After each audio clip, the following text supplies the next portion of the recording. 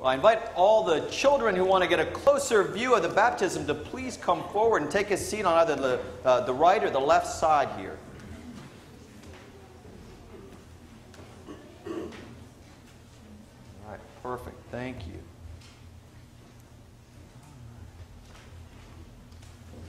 Oh, great. The candidate for holy baptism will now be presented.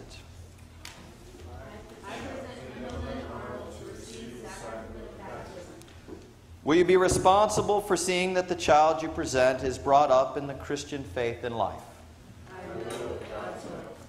Will you, by your prayers and witness, help this child to grow into the full stature of Christ? Do you renounce Satan and all of the spiritual forces of wickedness that rebel against God? Do you renounce the evil powers of this world which corrupt and destroy the creatures of God? Do you renounce all sinful desires that draw you from the love of God? Now, do you turn to Jesus Christ and accept Him as your Savior? Do you put your whole trust in His grace and love? I do. Do you promise to follow and obey Him as your Lord? I do. Now, to all of you, will you who witness these vows do all in your power to support this person in her life in Christ? We will. Let us now join with she who is committing herself to Christ and renew our own baptismal covenant. Do you believe in God the Father? Yes. I believe in God the Father Almighty, creator of heaven and earth. Good answer. Do you believe in Jesus Christ, the Son of God? I believe in Jesus Christ, his only Son, our Lord. He was conceived by the power of the Holy Spirit and born of the Virgin Mary. He suffered under Pontius Pilate, was crucified, died, and was buried. He descended to the dead. On the third day he rose again. He ascended into heaven and is seated at the right hand of the Father. He will come again to judge the living and the dead. Do you believe in God the Holy Spirit? Yes.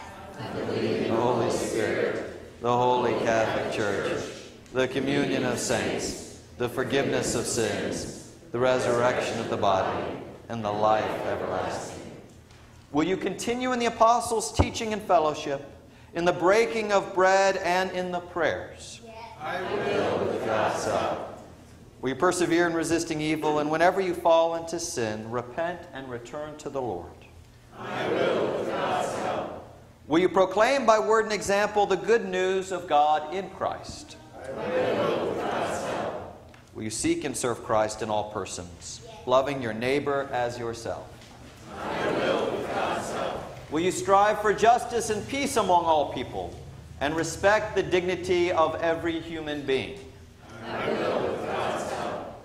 Let us now pray for this child who is to receive the sacrament of new birth. Deliver her, O Lord, from the way of sin and death. Lord, hear our prayer. Open her heart to your grace and truth. Lord, hear our prayer. Fill her with your holy and life giving spirit. Lord, hear our prayer. Keep her in faith and communion of your holy church. Lord, hear our prayer. Teach her to love others in the power of the Spirit. Lord, hear our prayer. Send her into the world in witness to, in witness to your love. Lord, hear our prayer. Bring her to fullness of your peace and glory.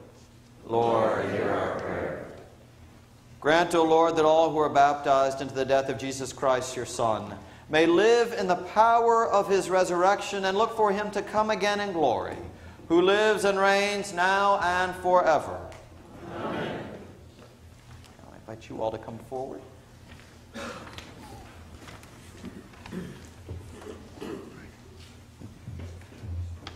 Charlie, I have a job for you if you're.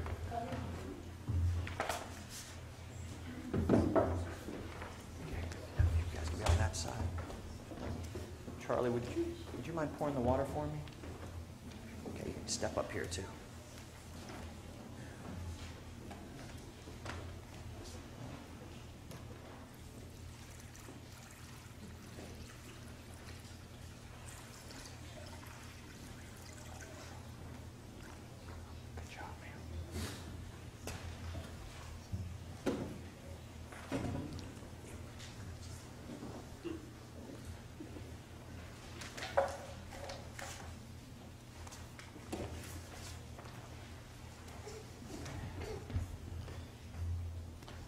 The Lord be with you.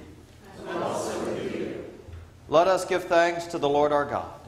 It is right to give him thanks and praise. We thank you, Almighty God, for the gift of water. Over it, the Holy Spirit moved in the beginning of creation. Through it, you led the children of Israel out of their bondage in Egypt and into the land of promise. In it, your son Jesus received the baptism of John and was anointed by the Holy Spirit as the Messiah, the Christ, to lead us through his death and resurrection from the bondage of sin into everlasting life. We thank you, Father, for the water of baptism. In it, we are buried with Christ in his death.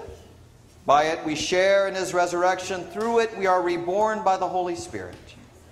Therefore, in joyful obedience to your Son, we bring into his fellowship those who come to him in faith, baptizing them in the name of the Father, and of the Son, and of the Holy Spirit. Now, sanctify this water, we pray you, by the power of your Holy Spirit, that those who here are cleansed from sin and born again may continue forever in the risen life of Jesus Christ our Savior. To him, to you, and to the Holy Spirit be all honor and glory, now and forever. Amen. There we go. There we go.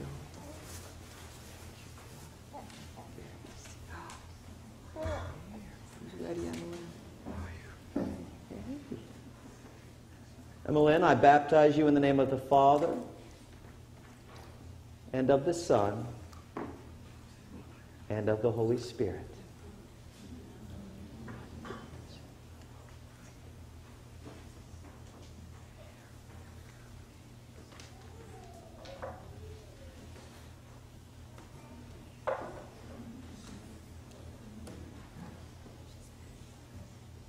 Emma Lynn, you are sealed by the power of the Holy Spirit and marked as Christ's own forever.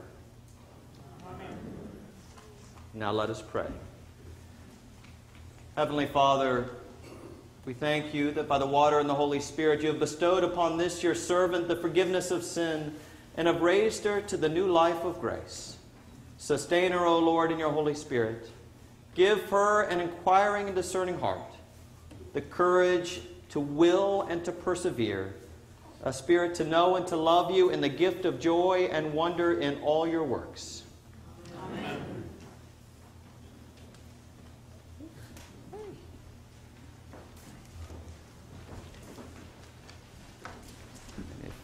If you will pray with me, let us welcome the newly baptized.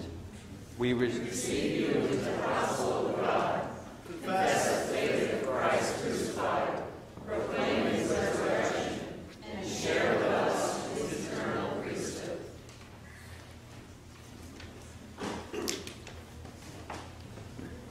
She is. She's doing good.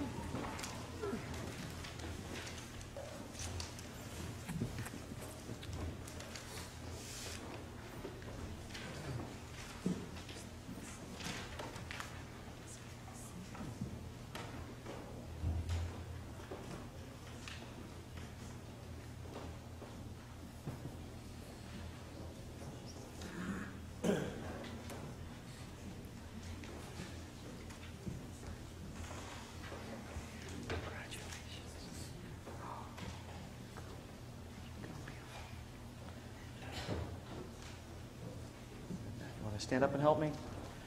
All right. The peace of the Lord be always with you, okay? One, two, three. The peace of the Lord be always with you.